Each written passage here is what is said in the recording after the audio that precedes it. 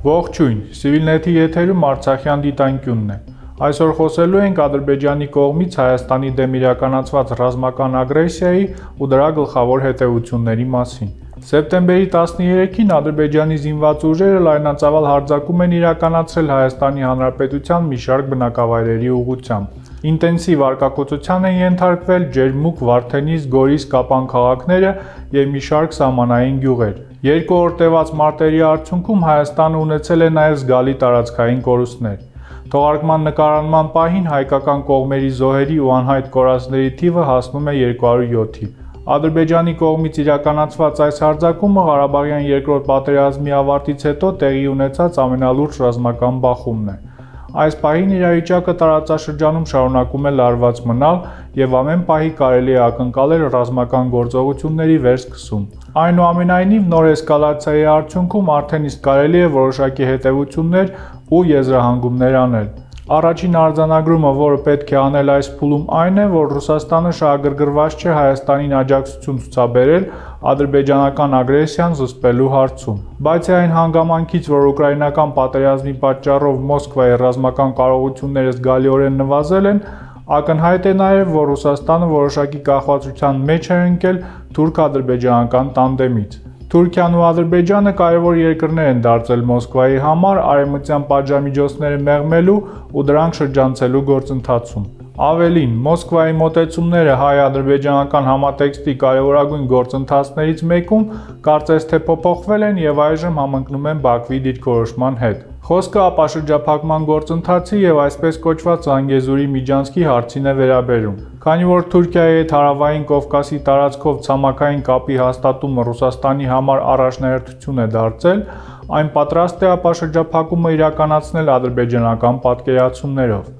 այսինքն Հայաստանի տարածքում դե ֆակտո արտատարածքային միջանցք ստեղծելով։ Ադրբեջանի նոր ագրեսիան ցույց դրեց նաև Եվրամիության միջնորդական գործընթացի անարդյունավետությունն ու ձախողումը։ ԵՄ Եվրոպական խորհրդի նախագահ Շարլ Միշելի ջանքերով մեկնարկած գործընթացը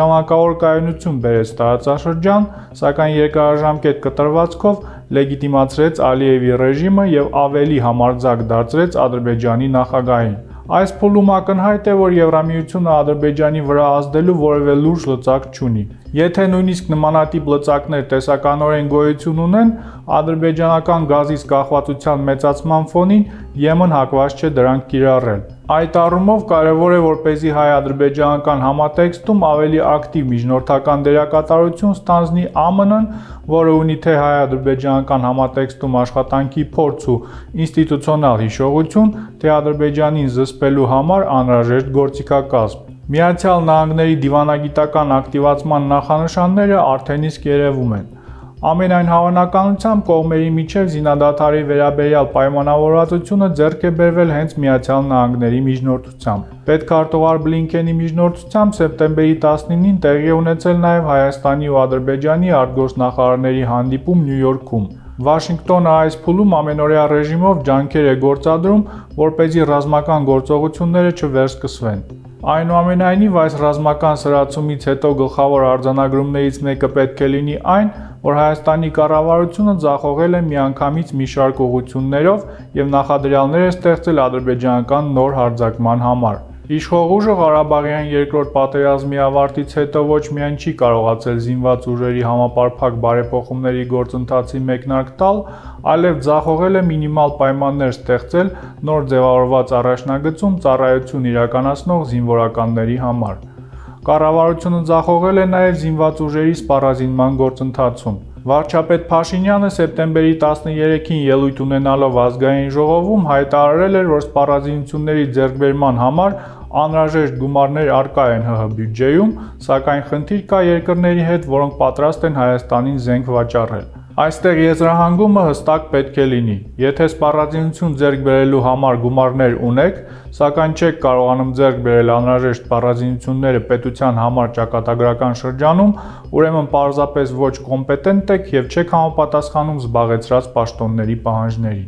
Իշխող թիմի մյուս ձախողումը դիվանագիտական դաշտում է եղել։ Վերջին 6 ամիսների ընթացքում Փաշինյանի կառավարությունը այդպես էլ չի կարողացել հստակ դիրքորոշում որդեգրել Ադրբեջանի հետ հարաբերությունների կարգավորման գործընթացում։ Այդ դիրքորոշումները անընդհատ փոփոխվում էին ադրբեջանական ճնշման ներքո։ Հայաստանի իշխանությունների փորձերը համապատասխանեցնել սեփական դիրքորոշումները միջազգային հանրության մոտեցումներին եւս որևէ արդյունք չտվեցին։ Այն միջազգային լայն կոնսոլիդացիան Հայաստանի շուրջ, որը վարչապետ Փաշինյանը խոստանում էր ապրիլին, այդպես էլ տեղի չունեցավ։ Ավելին, այդ ընթացքում արված մի շարք քայլեր ու հայտարարություններ անդառնալի վնաս հասցրեցին Հայաստանի շահերին ու դիրքերին։ Այս բոլոր ձախողումները բարձրաձայնելուց հետո պետք է սակայն ստեղծված իրավիճակում անել գլխավոր արձանագրումը։ Հայաստանը այսօր կանգնած է գոյաբանական վտանգի առաջ։ Միջազգային ու դաշնակցային լուրջ երաշխիքների բացակայության պայմաններում կա մեծ հավանականություն, որ Ադրբեջանը մոտ ապագայում ավելի լայնածավալ հարձակում կարող է իրականացնել,